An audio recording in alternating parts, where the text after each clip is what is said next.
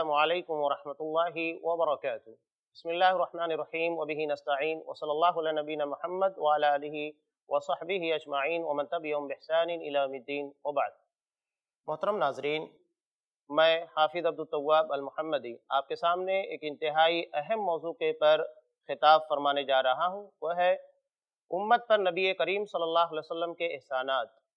یوں تو دیکھا جائے تو نبی کریم صلی اللہ علیہ وسلم کی لائی ہوئی پوری شریعت، پورا قرآن، پوری احادیث آپ کی سنت مبارکہ۔ آپ صلی اللہ علیہ وسلم کے احسانات کی منہ بولتی تصویریں ہیں، واضح دلیلیں ہیں۔ لیکن میں آپ کے سامنے قرآن و حدیث کی روشنی میں مجملاً اختصار کے طور پر الگ الگ موضوعات کو منتخب کرتے ہوئے نبی کریم صلی اللہ علیہ وسلم کے احسانات کو واضح کرنے کی کوشش کروں گا، انشاءاللہ۔ سورہ احزاب۔ اللہ تبارک و تعالی نبی کریم صلی اللہ علیہ وسلم کے تعلق سے ایک اہم بات بیان فرماتا ہے۔ اللہ فرماتا ہے، النبی اولا بالمؤمنین من انفسہم، کہ نبی مومنوں کے نزدیک ان کی جانوں سے کہیں زیادہ عزیز تر ہے۔ اب آپ یہ بتائیے کہ ایک آدمی کی نگاہ میں، ایک انسان کی نگاہ میں اس کی جان سے بڑھ کر بھی کوئی شے ہوا کرتی ہے؟ اگر کسی شخص کے معلوم ہو جائے کہ اس کی جان خطرے میں ہے یا اسے جان لیوا بیماری لگ چکی ہے یا کینسر ہے، کوئی بھی ایسی خطرناک بیماری جو اس کی جان کو لینے کے پر تلی بھی ہو، تو آدمی اس حقیقت کے معلوم ہونے کے بعد اپنی جان کو بچانے کے لیے، اپنا مال لٹانے کے لیے تیار، ہر چیز کو قربان کرنے کے لیے تیار۔ وہ چاہتا ہے کہ میری جان بچ جائے۔ اب آپ دیکھیے کہ اتنی عزیز ترین شے کو قرآن مجید کہہ رہا ہے کہ جسے تم اتنا عزیز سمجھتے ہو، اس سے کہیں زیادہ اہمیت تمہارے نزدیک نبی کریم صلی اللہ علیہ وسلم کی ہونا چاہیے۔ آخر قرآن مجید نے نبی کریم صلی اللہ علیہ وسلم کو اتنا اہتمام کرنے کا حکم کیوں دیا؟ آپ کی شان اور آپ کے مقام کو اتنا بلند و بالا کیوں رکھا ہے؟ نبی کریم صلی اللہ علیہ وسلم کے تعلق سے قرآن مجید نے جو بات کہی ہے، ہم اسی حقیقت کو سمجھنے کی کوشش کریں گے۔ دیکھیں، آگے بڑھنے سے قبل نبی کریم صلی اللہ علیہ وسلم اور امت کے درمیان ایک انتہائی مضبوط رشتہ ہے جو احسان کی شکل میں ہے۔ امت اگر تا حیات کوشش کرے کہ نبی کریم صلی اللہ علیہ وسلم کے احسانات کو چکانے کی تو نہیں چکا سکتی ہے۔ میں سب سے پہلے ایک حدیث کی روشنی میں نبی کریم صلی اللہ علیہ وسلم کے اس اولیت اور جانوں سے زیادہ عزیز رکھنے کی اہمیت کو آپ کے سامنے پیش کرنے کی کوشش کر رہا ہوں۔ نبی کریم صلی اللہ علیہ وسلم کی انتہائی مشہور حدیث۔ وعن ابی حریرت رضی اللہ تعالیٰ عنہ قال قال رسول اللہ صلی اللہ علیہ وسلم لكل نبي دعوة مستجابة فتعجل كل نبي دعوته وإن اختبات دعوتي الشفاعة لأمتي يوم القيامة فهي نائلة إن شاء الله من مات من أمتي لا يشرك بالله شيئا رواه مسلم في كتاب الإيمان اس روایت کو حضرت امام مسلم رحمت اللہ علیہ، جہاں ایمان کا چپٹر قائم کیا ہے، وہاں حضرت ابو حریر رضی اللہ تعالیٰ نے روایت کیا۔ کہتے ہیں کہ اللہ کے رسول صلی اللہ علیہ وسلم نے ارشاد فرمایا، ہر نبی کے لیے اللہ نے ایک مستجاب الدعوہ یعنی ایسی دعا جسے اللہ یقیناً قبول کرے گا، اسے رد نہیں کرے گا، اس کا وعدہ کیا تھا۔ اب ہر نبی نے اس دعا کو دنیا میں ہی مانگ لیا، لیکن میں نے اپنی اس مخصوص گارنٹیڈ نہ رد ہونے والی مستجاب الدعوہ کو بڑی حفاظت کے ساتھ سنبھال کے رکھا ہے۔ اس لیے میں نے اپنی اس مخصوص دعا کو سنبھال کر رکھا ہے، شفاعت امتی یوم القیامہ۔ یہ میری امت کی شفاعت کے لیے میں نے حفاظت کے طور پر رکھا ہے۔ اور یہ کس کے کام آنے والی ہے؟ کون امتی ہے جو میری شفاعت کے دائرے میں آنے والے ہیں؟ اور وہ شفاعت جو کہ دعا کی شکل میں رد نہیں ہونے والی ہے۔ نبی کریم صلی اللہ علیہ وسلم نے فرمایا ممات من امتی لا یشرک باللہ شیعہ یہ میرے ہر اس امتی کو کام آنے والی ہے جس کی موت شرک کے پنائی بھی ہو۔ اب وہ تمام امتی جنہوں نے اپنے آپ کو شرک کے داغ سے شرک کی تمام اقسام سے محفوظ رکھا ہے، یقیناً وہ خوش نصیب ہے اور نبی کریم صلی اللہ علیہ وسلم کی اس دعا کے مستحق ہے یہ حدیث دیکھیے کتنی معنی خیز ہے۔ سب سے پہلی اور اہم بات اس حدیث کے اندر بیان کی گئی ہے کہ ہر نبی کے لیے اللہ نے ایک مخصوص اور گارنٹی دعا کا وعدہ کیا تھا۔ وہ دعا ریجیکٹ نہیں کی جائے گی، رد نہیں کی جائے گی۔ اور ہر اس نبی نے اس دعا کو دنیا میں استعمال کر لیا، سوائے محمد رسول اللہ صلی اللہ علیہ وسلم کے۔ اس کا مطلب یہ ہے کہ انبیاء کرام کی ساری دعائیں قبول نہیں کی جاتی ہے بلکہ کچھ دعائیں ہیں جسے اللہ رب العزت قبول نہیں کرتا ہے۔ جیسا کہ حضرت نو علیہ السلام کے تعلق سے قرآن مجید میں سورہ حود کے اندر اللہ تبارک و تعالیٰ اشارت فرماتا ہے کہ جس وقت اللہ تبارک و تعالیٰ نے قوم نوح کے پر عذاب نازل کیا، عذاب کے نازل ہونے کے بعد حضرت نو علیہ السلام کا بیٹا بھی تھا جو نافرمانوں میں سے تھا۔ حضرت نو علیہ السلام نے اللہ تبارک و تعالیٰ کے حکم کے پر ایک کشتی تیار کی تاکہ تمام مومنین اس طوفان کے آنے کے بعد، سیلاب کے عذاب کے آ جانے کے بعد اس میں پناہ گزی ہو جائے یہ صرف اہل ایمان کے لیے تھی۔ اہل ایمان اس میں سوار ہوئے، طوفان آیا، اللہ کا عذاب آیا۔ سارے مومنین اس کشتی میں سوار ہونے کے بعد اپنے آپ کو محفوظ پا رہے تھے۔ حضرت نو علیہ السلام کی نگاہوں کے سامنے ان کا بیٹا بھی تھا، جو کہ موجوں سے کھیل رہا تھا۔ پانی میں ڈوبنے کے بالکل قریب تھا۔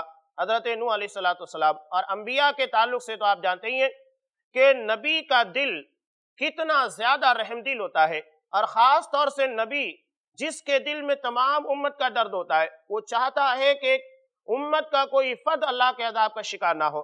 اس صورت میں ایک نبی جب اپنی سگی اولاد کو دیکھے، تو کیا اس کے دل کے پر بیت رہی ہوگی؟ حضرت نو علیہ السلام نے اپنے بیٹے سے کہا، یا بنیر کم مانا اے میرے بیٹے، کشتی میں سوار ہو جا، تو بچ جائے گا۔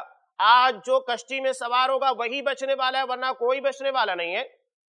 اب یہ بیٹا اپنے آپ کو بڑا ہوشیار سمجھ رہا تھا۔ یہ کہنے لگا من الماء۔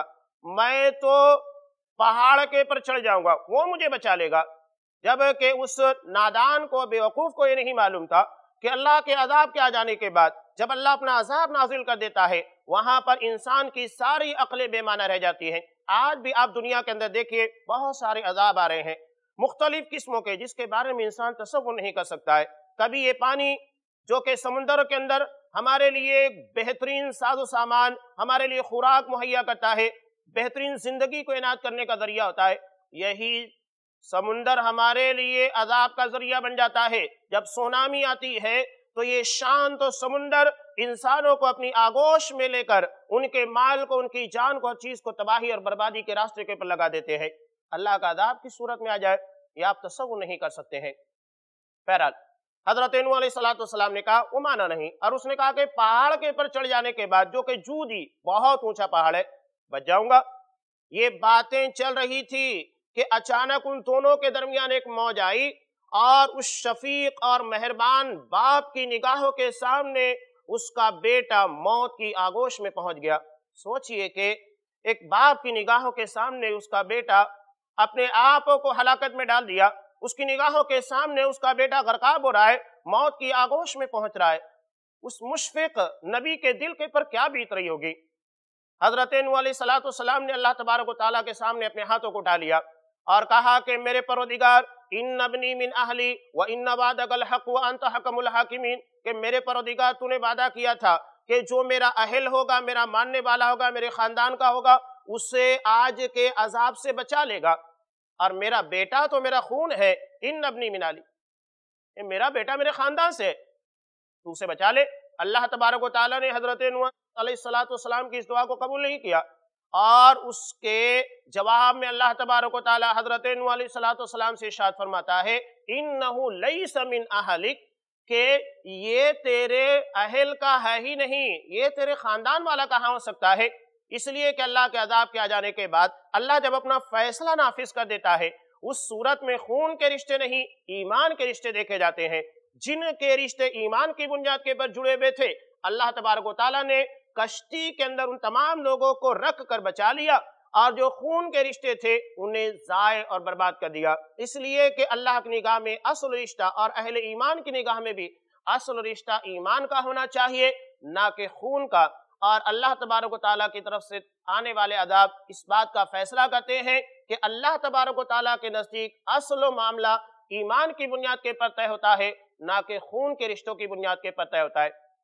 تو معلوم یہ ہوا کہ نبیوں کی ساری دعائیں اللہ تبارک و تعالیٰ قبول نہیں کرتا ہے، بلکہ کچھ دعائیں ہوتی ہیں جسے اللہ تبارک و تعالیٰ رد کر دیتا ہے۔ اور اسے قبول نہیں فرماتا ہے۔ لیکن ایک دعا کے بارے میں یقیناً اللہ تبارک و تعالیٰ نے کہا، اس دعا کو میں رد کرنے والا نہیں، وہ قبول ہونے والی ہے، مستجاب الدعویٰ ہے۔ اب آپ دیکھیے، اللہ کے رسول صلی اللہ علیہ وسلم کیا فرماتے ہیں؟ فتح کل نبی دعوت ہر نبی نے اپنی دعا کے بارے میں جلدی کی اور دنیا میں ہی اس کو استعمال کر لیا۔ لیکن میں نے اسے بڑی حفاظت کے ساتھ سنبھال کر رکھا ہے۔ کس کے لیے، اپنے خاندان کے لیے نہیں، صرف مکہ والوں کے لیے نہیں، صرف مدینہ والوں کے لیے نہیں بلکہ شفاعت یوم القیامہ، یہ میری امت کی شفاعت کے کام آنے والی ہے۔ کتنی بڑی بات نبی کریم صلی اللہ علیہ وسلم نے بیان فرمائی۔ نبی یہ کہہ رہا ہے کہ میرے امتیوں میری طرف آؤ۔ میں نے قیامت کے دن، اور آپ غور کیجیے، جو میں بات ثابت کرنے جا رہا تھا، نبی کریم صلی اللہ علیہ وسلم کا انتہائی عظیم احسان اس حدیث کے اندر بیان کیا گیا ہے۔ کون سا عظیم احسان ہے؟ کہ قرآن مجید قیامت کے تعلق سے کہتا ہے۔ یوم یفر المرء من اخی و امه و ابی و صاحبته و بنی لکل امرئ منهم یوم شأن یغنی کہ اس دن یعنی بروز قیامت آدمی اپنے بھائی سے دور بھاگے گا دیکھنے کے بعد، اپنے باپ سے دور بھاگنے والا ہے، اپنی ماں سے دور بھاگنے والا ہے، اپنی اولاد سے دور بھاگنے والا ہے۔ اس دن آدمی کی ایک عجیب و غریب کیفیت ہوگی جو سب کو ایک دوسرے سے بیگانہ کر دینے والی ہے۔ یہ کیفیت بروز قیامت میدان محشر میں ہونے والی ہے۔ اب آپ جانیے کہ جہاں پر باپ بیٹے کا نہیں ہوگا، بیٹا باپ کا نہیں ہوگا، ماں اپنے بچوں سے بیگانہ ہو جائے گی۔ وہ ماں جو اپنے بچے کی ایک پخار کے پر، اپنے بچے کے ایک بلاوے کے پر ہر چیز کو چھوڑ کر اس کی طرف لگ جایا کرتی تھی۔ آخرت میں یہ ہوگا کہ اپنے بچے کو دیکھے گی، پریشانی کا عالم میں ہے، لیکن وہ ماں اپنے بچے کی طرف توجہ نہیں دے گی۔ کوئی دھیان نہیں ہوگا بلکہ دیکھنے کے بعد منہ پھیر لگی اور یہی حالت بچے کی ہوگی کہ وہ بچہ جو اپنی ماں کی نگاہوں کے اندر اتنا پیارا تھا، اپنے ماں کے دکھ درد کے تعلق سے اتنا زیادہ پریشان حال ہوا کرتا تھا، یہ اپنی ماں کو دیکھنے کے بعد اس کی طرف توجہ نہیں دے گا کہ جسے اپنی ماں کے ایک پکار اور ایک آواز کے پر ہر چیز کو چھوڑ کر جانا ہوتا تھا، اس قدر محبت تھی۔ یہ ساری محبتیں اس کے نزدیک بے معنی ہو جائے گی۔ قیامت ایک ایسا عظیم منظر ہوگا کہ جو رشتوں کو کاٹ دینے والا ہے۔ لیکن اس موڑ کے پر بھی قرآن مجید سورہ زخرف کے اندر بیان کرتا ہے۔ الاخلاء یوم بعضهم لبعض عدو للمتقین، کہ اس دن ہر کوئی ایک دوسرے کا دشمن ہوگا سوائے متقیوں کے۔ یعنی وہاں پر ایمان کا رشتہ باقی رہے گا۔ خون کے رشتے کٹ جانے والے ہیں، لیکن ایمان کا رشتہ باقی رہنے والا ہے۔ بہرحال نبی کریم صلی اللہ علیہ وسلم نے یہاں پر جو بات بیان فرمائی، اس آیت کی روشنی میں جو سورہ عبس کی تھی کہ یوم یفر المرء من اخی و امه و ابی، کہ جس دن بھائی اپنے بھائی کو دیکھنے کے بعد بھاگ جائے گا، اپنے باپ، اپنے بیٹے، اپنی اولاد، اپنی بیوی، اپنی ماں، سب کو دیکھنے کے بعد بھاگ جائے گا۔ اس موڑ کے پر نبی کریم صلی اللہ علیہ وسلم اپنی امت کے بارے میں فکر کر رہے ہوں گے۔ جہاں پر باپ بیٹے کا نہیں ہوگا، وہاں نبی اپنی امت کے بارے میں فکر کر رہا ہوگا۔ سوچئے کتنا بڑا احسان ہے نبی کریم صلی اللہ علیہ وسلم کا بروز قیامت۔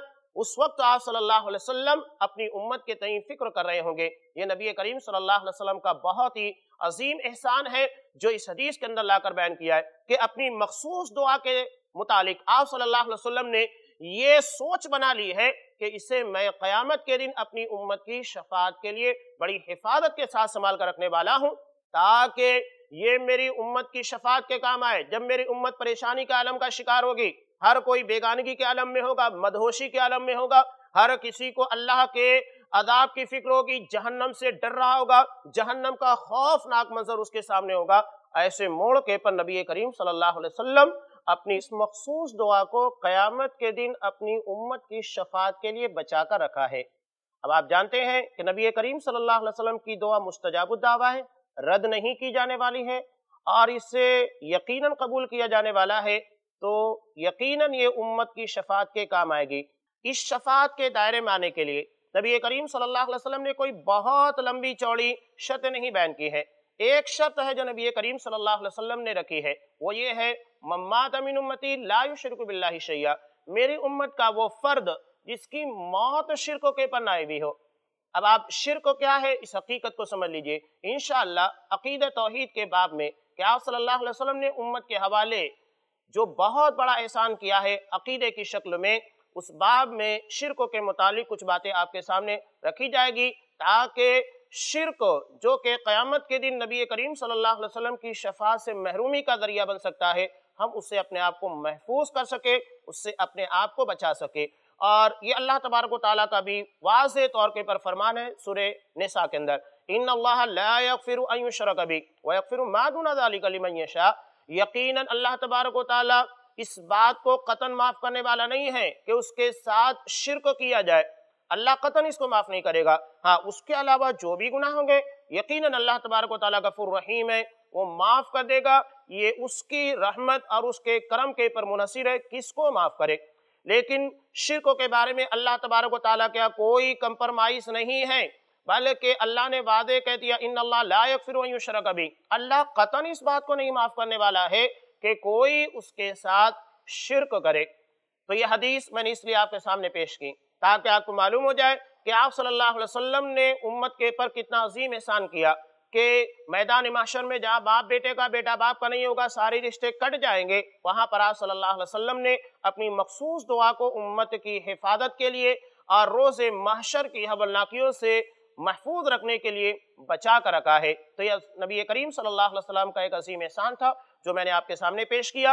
اور سورہ احزاب کی وہ آیت جس میں اللہ تبارک و تعالیٰ نے کہا، النبی اولا بالمؤمنین من انفسیم کہ یقیناً نبی مومنوں کے نزدیک ان کی جانوں سے زیادہ عزیز تر ہے اس کی وضاحت کے لیے۔ یہ بات ہماری سمجھ میں آ گئی ہے انشاءاللہ کہ نبی کریم صلی اللہ علیہ وسلم کو یہ مقام کیوں دینا چاہیے اور قرآن مجید نے یہ اعزاز کیوں عطا کیا کہ آپ صلی اللہ علیہ وسلم مومنوں کے نزدیک ان کی جانوں سے کہیں زیادہ عزیز تر ہیں، جو نبی ہر موڑ کے پر ہمارا ساتھ دینے والا، زندگی کے ہر راستے کو بتانے والا، یقیناً ہماری جانوں سے زیادہ عزیز ہے۔ ہر شے سے عزیز ہمارے نزدیک نبی کریم صلی اللہ علیہ وسلم کی ذات گرامی ہی ہونا چاہیے۔ اور یہ بات بھی آپ سمجھ لیجیے، میں آپ کے سامنے دو اہم حدیثیں نقل کرنے جا رہا ہوں اس حقیقت کو وعدے کرنے کے لیے تاکہ بات اچھی طریقے سے آپ کے ذہن و دماغ کے اندر آ جائے۔ اور وہ چیز ہمیشہ اپنے ذہن و دماغ کے اندر رکھیے۔ کیا ہے؟ ایک جملہ ہے۔ اور اس جملے کے پر نبی کریم صلی اللہ علیہ وسلم کی دو حدیث نقل کرنے جا رہا ہوں تاکہ یہ سمجھ میں آ جائے کہ یہ معاملہ کتنا زیادہ اہمیت کا حامل ہے۔ پہلا مسئلہ، کہ ایمان کی تکمیل کے لیے نبی کریم صلی اللہ علیہ وسلم کی محبت ضروری ہے، لیکن حصول جنت کے لیے نبی کریم صلی اللہ علیہ وسلم کی اطاعت ضروری ہے۔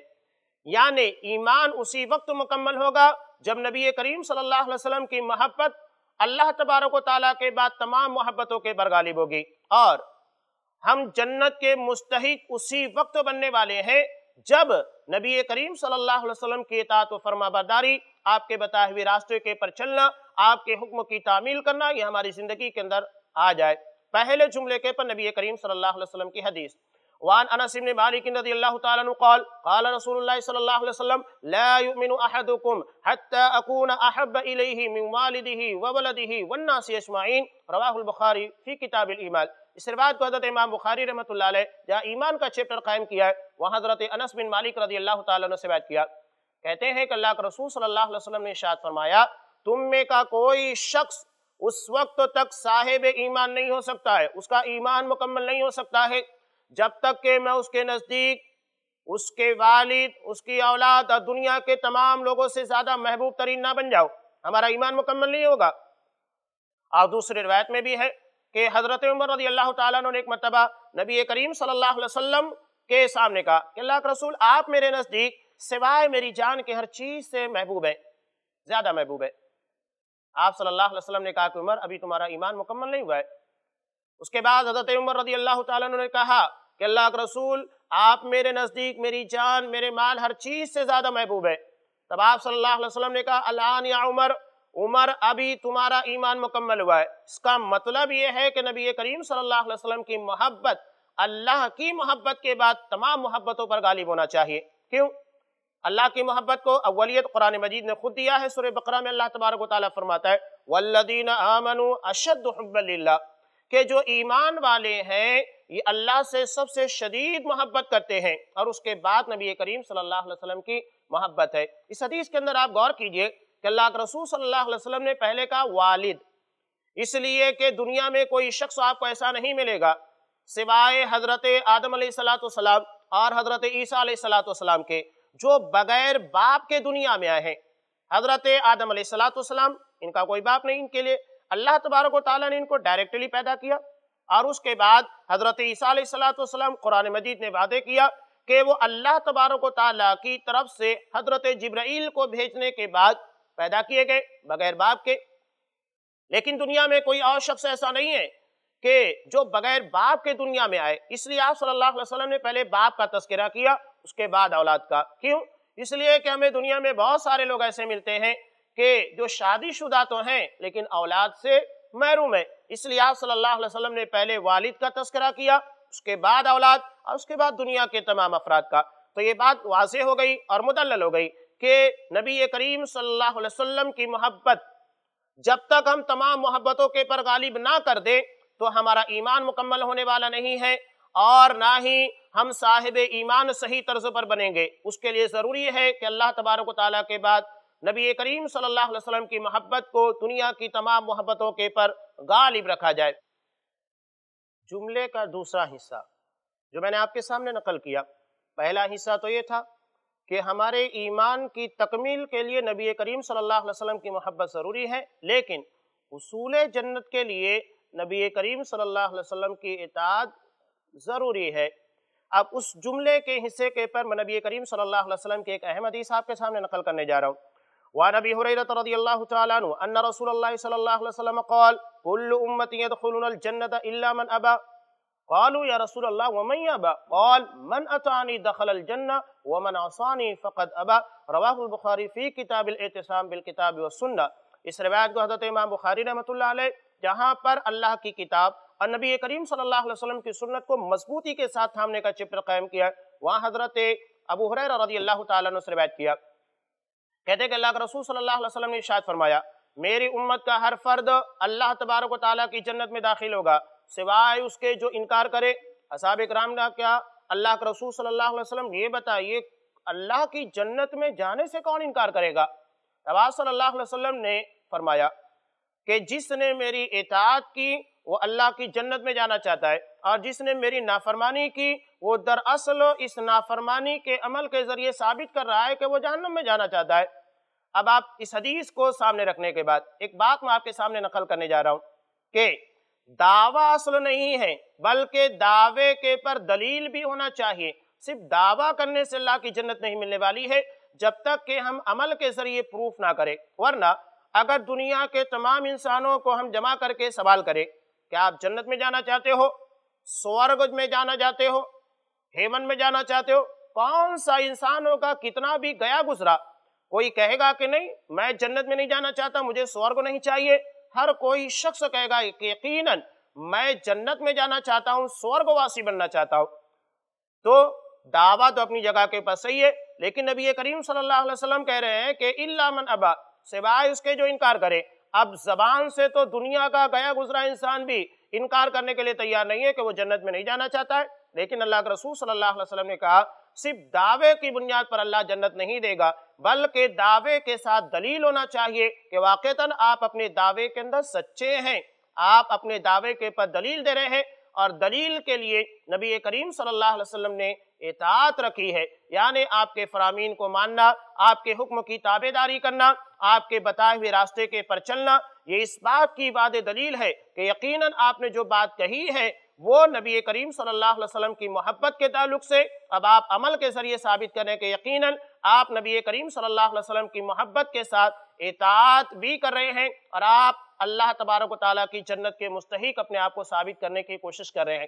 تو بات بالکل واضح اور مدلل ہو گئی کہ ایمان کی تکمیل کے لیے نبی کریم صلی اللہ علیہ وسلم کی محبت ضروری ہے، لیکن اللہ تبارک و تعالیٰ کی جنت کو حاصل کرنے کے لیے آپ کی اطاعت ضروری ہے۔ اس کا آسان سے جملے کے اندر اگر مفہوم کو واضح کرنا چاہوں تو یہ ہے کہ ہمیں نبی کریم صلی اللہ علیہ وسلم کو ماننے کے ساتھ نبی کی بھی ماننا ہے۔